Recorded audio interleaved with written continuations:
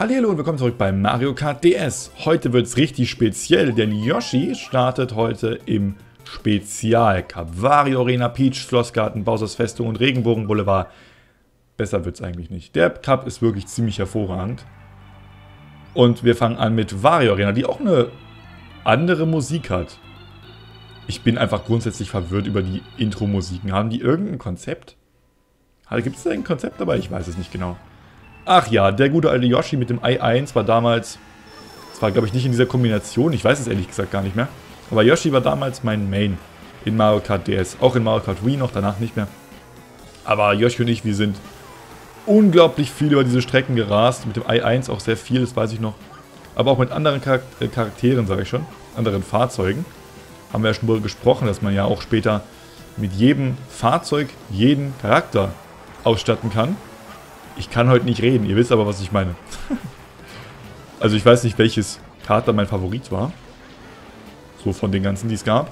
Ich glaube, es gab insgesamt irgendwie... Gab es 30 Stück oder so? 32 Stück? Es waren irgendwie sehr, sehr viele.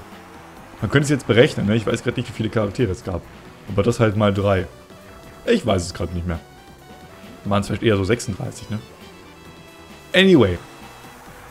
Wario Arena, erste Runde lief jetzt eher bescheiden. Aber ich bin mir sicher, das wird noch was. Im letzten Part waren ja Yoshi und Toad unsere stärksten, Alter, unsere stärksten Widersacher. Und es ist ein bisschen äh, tricky, mal zwischen den verschiedenen Handlings hinterher zu wechseln, weil dieses Kart hat eine relativ direkte Steuerung, im Gegensatz zu Peach's Königskarre, oder wie das Ding hieß, die wir im letzten Part gesehen haben. Die war bedeutend, ja, undirekter, indirekter. Ich überspringe aber alles, ist mir egal. Luigi hat eine Red Shell, die wird er nach hinten abschießen. Weil die Coms arbeiten in dem Spiel... Ja gut, jetzt hat er natürlich nach vorne abgeschossen. Aber normalerweise arbeiten die Coms im Spiel gegen den Spieler. Das ist so eine Sache, die mir auch früher schon aufgefallen ist. Wenn jetzt ne, Luigi auf dem zweiten gewesen wäre und Donkey Kong auf dem ersten und ich auf dem dritten, hätte er nicht Donkey Kong abgeschossen, sondern er hätte die äh, Rotschellen nach hinten geworfen. Das machen die hier so. Die sind verbündet gegen den Spieler, das ist äh, frech, aber irgendwo nachvollziehbar. Sowas passiert ja in den heutigen Mario Karts nicht mehr. Finde ich ehrlich gesagt aber auch besser so, weil es ist ein bisschen unfair. Gerade in so Rennen, wo es dann doch ein bisschen knapp wird, haben wir im letzten Part ja auch gesehen, kann man es dann nicht unbedingt gebrauchen, wenn sie auch noch die Coms gegen einen verbünden. Und das macht doch irgendwie keinen Sinn, weil, jetzt mal rein von der Logik her, fahren die hier ja auch mit, um einen Cup zu gewinnen. Und nicht um einen bestimmten Mitfahrer zu zerstören. Ich weiß nicht, wie das so bei der Formel 1 zum Beispiel ist, ob man sich da gegenseitig zerstört, nur damit der eine nicht gewinnt? Keine Ahnung. Ah, die Rotshell wieder. Aber wir haben einen guten Vorsprung gerade. Ah, wobei. Ah, Touchscreen, Vorsicht. Der geht vorbei, aber egal. Erster Platz. Das höre ich doch gerne. Ach, das, das Bild von Yoshi, ne? Gott, oh Gott, habe ich das oft gesehen. Wunderschön. Auch schön, dass die ganzen Charaktere in Caps Lock geschrieben werden auf dem Touchscreen. Ist auch irgendwie süß. Ich weiß nicht. Das Spiel ist irgendwie so süß. Es ist so, so niedlich und so knuffig. Peach's Schlossgarten hat immerhin knuffige Kettenhunde. Der Name ist ein bisschen uffig. Peach's Schlossgarten. Muss man echt ein bisschen sich konzentrieren beim Reden. Aber die Strecke kann man sehr gut fahren, wie ich finde. Die gibt es ja auch in Mario Kart Wii. Alter, wie sich das, wie sich das Ei aufgebläht hat, habt ihr das gesehen? Ich fahre erstmal gegen die Hecke. Gib mir mal einen Pilz, bitte. Das ist kein Pilz. Ich fahre hier trotzdem. Ach, guck mal.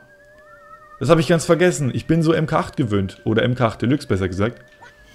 Hier in dem Spiel kann man mit dem Geist auch einfach über Sachen drüber fahren. Man kann einfach über übers Offroad und so weiter durchfahren. Stimmt. Das ist hier ja anders gelöst als in den neueren Teilen. Wo man da ja im Gras dann stecken bleiben würde. Hier kann man einfach drüber fahren. Stimmt. Das habe ich ganz vergessen. Das lief hier damals noch ein bisschen anders. Der Bums. Gut zu wissen, muss ich mir mal merken. Wir hatten auch schon mal irgendwann einen Geist und den habe ich dann einfach nicht so gut eingesetzt, aber immerhin, besser spät als nie gewusst. Ach ja, und die Musik ist einfach total chillig, ne? Ich mag die, hat so... Die klingt irgendwie, finde ich nicht wirklich nach Peach, aber sie klingt nach Schlossgarten. Ich weiß auch nicht. Ich finde, sie passt. Hier auch die Ketten unten in dem Labyrinth. Ist einfach sehr, sehr ikonisch alles. Und ich meine, die Strecke, dadurch, dass man sie auch in der Wii-Version gespielt hat, ist sie auch altbekannt.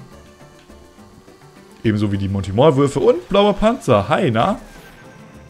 Da habt ihr mir auch in die Kommentare geschrieben, dass blaue Panzer gemeinsam mit irgendeinem anderen Item, Fakebox war es, glaube ich, genau, äh, die einzigen 3D-Modelle sind für Items. Ja, das ist mir zwar irgendwie bewusst gewesen, aber noch nicht so aufgefallen. Weil das ist ein 3D-Modell, das sieht man. Vor allem, wenn es dann da liegt. Aber der, die, Blau, die Blaushell, Alter. Der Bausparvertrag. Nein, die Blue Shell ist natürlich auch 3D. Weil sie ja fliegt und sich dann wendet. Und es klingt vielleicht ein bisschen nach Selbsthass, aber ich mag es, wie die Blue Shell so kreist, bevor sie einschlägt. Es sieht irgendwie super cool aus. Die wirkt immer so super erhaben in diesem Spiel. Mehr noch als in den anderen Spielen. Ich weiß auch nicht. Oder ich habe gerade die Nostalgiebrille auf. Das ist durchaus möglich. So, läuft doch.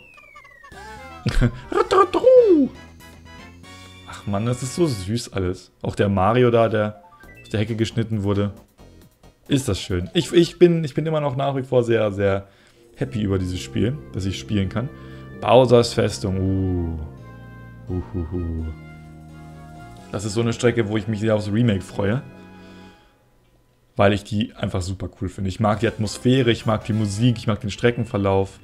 Sie ist ein bisschen experimenteller, was ich cool finde. Also sie hat drei Aspekte an der Strecke, die sehr experimentell sind, die man sonst so nicht sieht. Weder hier im Spiel noch in anderen Bowsers... Kann ich bitte... Bowsers Festungen, wollte ich sagen. Und zwar zum einen mal dieses runde, sich drehende Ding hier. Hier gibt es eine Abkürzung. Ja, dazu muss ich mir noch eine Geschichte erzählen, aber das mache ich gleich. Vorsicht vor der... Scheiße. Erzähle ich euch einfach die Geschichte jetzt. Damals habe ich mit einem guten Kumpel, das war noch zu Grundschulzeiten, mich regelmäßig getroffen und Mario Kart DS mit ihm gespielt. Wir hatten beide einen DS und auch beide das Spiel, ist ja logisch. Hier die nächste Innovation. Und wir waren vom Skill-Level her eigentlich ziemlich gleich auf. Mal war der eine vorne, mal der andere, auch wegen Itemglück und so weiter, klar. Hier die dritte Innovation.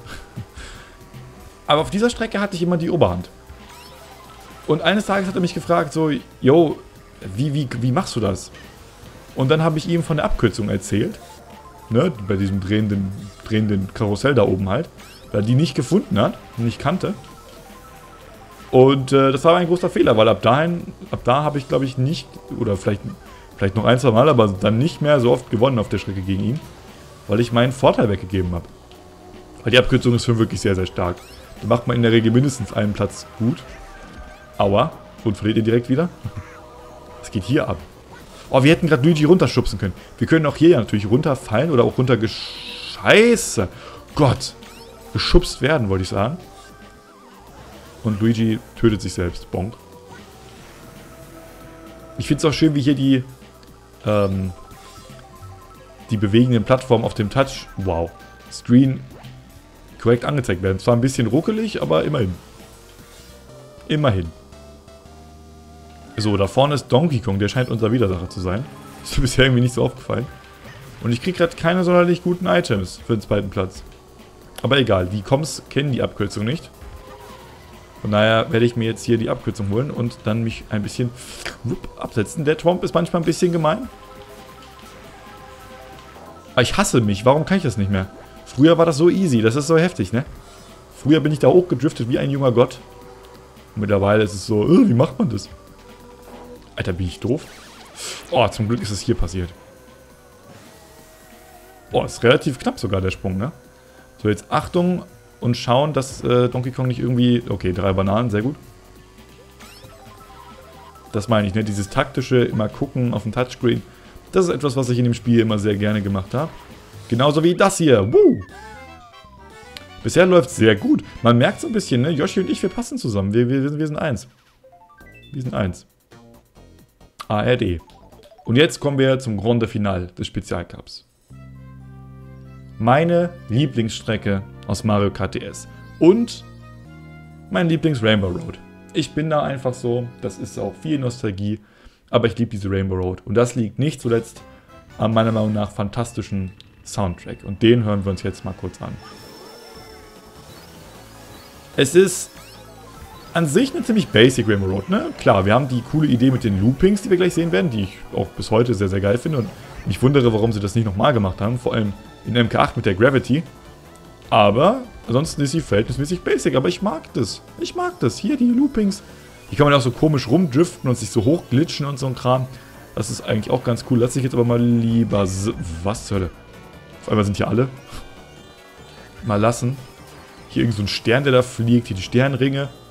Die auch Geräusch machen, wenn man durch hier durchfährt. Es ist einfach...